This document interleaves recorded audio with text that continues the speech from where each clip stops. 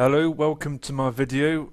Today I'll be showing you how to aggregate an RSS feed to your timeline automatically so that when a YouTuber, a podcaster, your favorite blogger publishes new content, that content will appear in your timeline so both you and your Twitter followers can see it.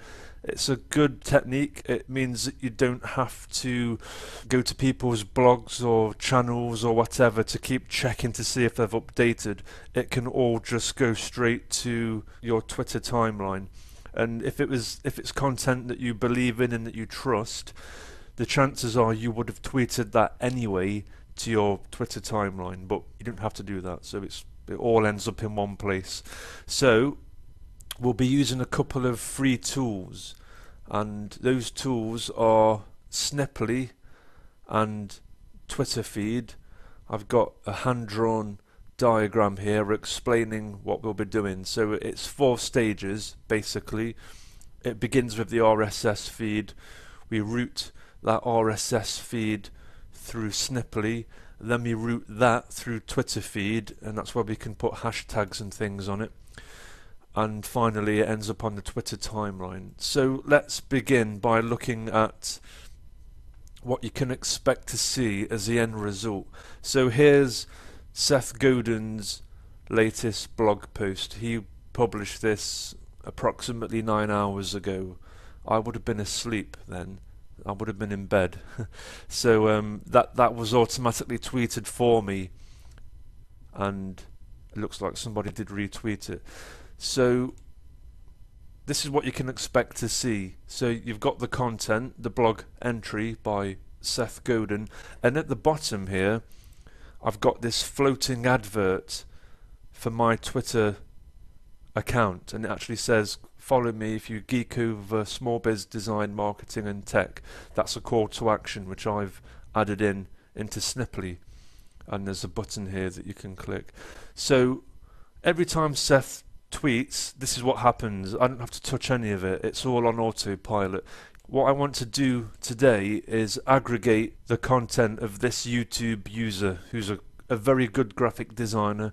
I really like his videos. I share them a lot with friends and colleagues and associates. I would like to start tweeting his stuff out to my Twitter timeline automatically. We need to find this guy's user ID. We need his user ID, which is like lots of numbers and characters, like a string of characters. In order to find the user ID, we go to subscriptions on the left and we click the name of the YouTube channel. Okay, so at the top here in the URL bar, you can see it says www.youtube.com slash channel slash, and then that is the user ID. Highlight that, copy it, paste it to your notepad. We'll be needing that in a sec. Next, we need to actually build the YouTube RSS feed. Highlight the user ID we copied from the YouTube URL, cut that, and see here where it says user ID. Highlight that, right click, and go paste. And I'll include this link in the video description. The link here is what we need, so you can copy that. Next, we need to go to Sniply. Sniply is free if you're signed into Twitter already, you can go to Sniply, which is S N I P dot L Y, or just Google Sniply and you can sign in with Twitter. What you need to do is go to Account and Profiles, and we need to add a new profile. Okay, I'm going to say Small Biz Geek you can use your own name or your brand name, whatever you want. Maybe you're a small business, you might want to use your business name. Then go twitter.com forward slash followed by your Twitter username. For me, it's small biz geek UK. Add a picture by clicking change photo, upload a photo. Make sure that it's got a square aspect ratio, otherwise it gets stretched in quite a horrible fashion. So make sure it's square. It will resize it for you automatically. The advanced options you can ignore because they're for paid users, so that doesn't concern us because we're using the free version of Sniply. So add profile. Now let me just quickly go back to this uh, example that I made earlier. You see this call to action, you can pick anything you want. In order to set up the call to action, we need to go back to Sniply and we need to create a snip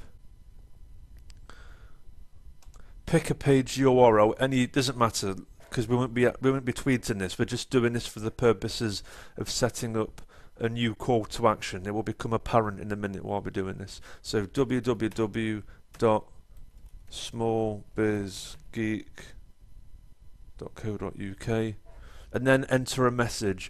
Bearing in mind I'm tweeting out graphic design videos, um, so I want to pick a call to action which is which is appropriate for Seth Godin, I say follow me if you geek over small biz design, marketing, and tech.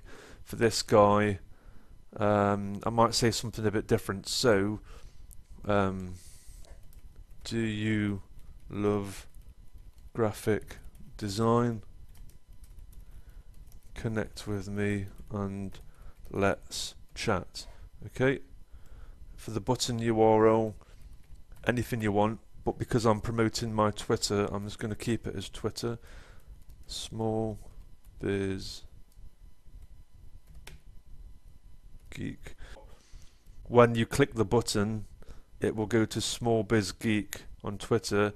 If you click my profile picture there, that will also go to Small Biz Geek on Twitter. So I'm funneling people back to my Twitter. If you wanted, you could promote uh, a web page or some external page of yours, squeeze page, landing page, whatever. Um, when people click where it says button, that is what you call a conversion. I have had some conversions. Anyway, we can create that and now we can just shut that down. Just shut it down. We don't need to tweet that. We're not going to be tweeting this out. We've done that because now that call to action that we just created has been saved and what I want to do now is go to integrations and RSS feeds grab that YouTube RSS feed create a new feed by pasting it in clicking next. And there it is. That is the call to action I just created a few minutes ago. So that's been saved into a list. I can pick any one of the call to actions that I've used on previous links that I've created. Anyway, so I'm going to select that one. And that has now created a new call to action which is overlaid over that RSS feed. So anytime anytime this guy uploads a new video I can expect to see the same call to action every single time overlaid. If we click that yeah, we can ignore the fact that it's trying to tweet out the Small Biz Geek page. Just ignore that. We're interested in this. What we want is this link, which we'll highlight and copy, and we can stick that there. Okay, for safekeeping. Now, Twitter feed. Twitter feed is free. Sign up, get a new account, and you can see I've already got a few feeds that are being tweeted out automatically. So I've got various Twitter accounts that I control and manage, and I've been able to automatically um, aggregate content from a website to the Twitter feed. So we'll go create new feed, and we'll call this graphic designer tips. Then we'll paste in the feed. Give it a little test. Doesn't matter about that. Go advanced settings. I don't know how often this guy updates. I think it's probably once a week. So I could set the Twitter feed to check. It's every couple of days. So I could set the Twitter feed to check. Let's say every 24 hours I don't think he posts more than one video in a 24 hour period. Leave it, yeah, one update. Title and description. I'm, I'm going to say title only because the description's not going to fit and it will get truncated. Shorten link, leave that as bit.ly. Scroll down, post prefix. I'm going to say graphic designer tips. Bearing in mind you've only got 140 characters in a tweet, so it's got to fit. You've got to fit in the prefix, the title of um, the content. These titles look like they're about 70 to 80 characters each time. So graphic designer tips, colon. Can you put a colon in there? used up my maximum allowance. Uh, graphic design tips. There we go. I'm actually going to um, put a hashtag in there. Graphic design. So anybody that searches Twitter for graphic design will find some of my tweets of his content. Of course, he'll get you know views on his video. I could get a few new followers out of that.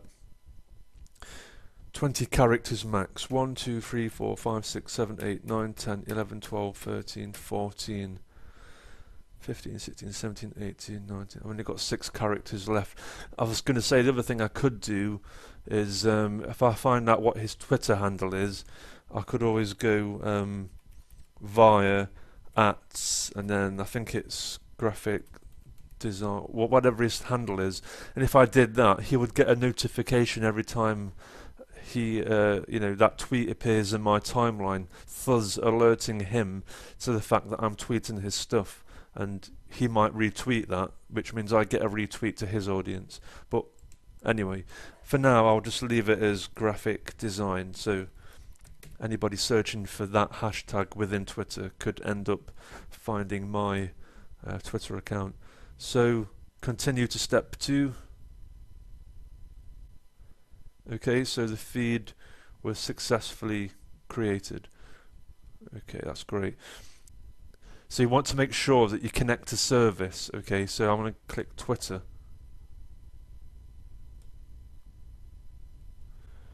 And I've already got various Twitter accounts connected. And um, if you want to authenticate a new Twitter account, you just click Authenticate Twitter and uh, it will connect your Twitter account to Twitter feed.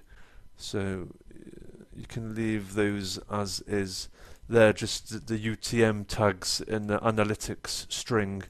Click create service when you're happy with everything and that is now aggregated to my Twitter account. So in the next couple of days when that guy posts uh, a new video that will appear in my Twitter account. Click all done in a couple of days time I'll show you how it went and what the results were in my Twitter timeline. Hello, so here's one of the tweets that has been aggregated from the graphic design channel that we uh, that we set up to automatically post to my Twitter feed. So that's the link, it's a Sniply link and of course there's the graphic design hashtag that we added in Twitter feed. That's the suffix and that's the prefix graphic design tips that we also set up in Twitter feed. So let's click the link and see how it handles YouTube videos. Oh, this is interesting.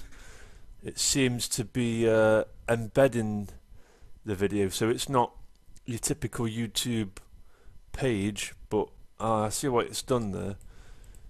Yeah, I mean that's that's okay. I mean you can press play, you can watch the video. If you want to visit the original video, you can click that link there. I would have preferred it if it had posted. It's usually youtube.com forward slash watch and then the video ID. Yeah, it's okay. So just check that it works. If I click the cross, hey, they're immediately on my uh, that's good. So let me do that again. Let me just show you what's happening there. So if I click that, it opens his video and I've got my little advert at the bottom. So if they click the button, they go to my Twitter account. If they click my avatar, they go to my Twitter account. But if they watch the video and then close it down, it still sends them to my Twitter account. That's good. So it's pretty good what you can do. I mean, you can aggregate podcasts as well, and you can aggregate written content in the traditional sense. You know, you can get pretty creative with RSS feeds. I don't know if you've heard of Yahoo Pipes, but you can do some pretty cool stuff over there as well. So let me know what you think, and please um, comment on the video. Share any ideas that you might have for taking this a bit further. Thanks for watching anyway. Speak to you again soon. Bye.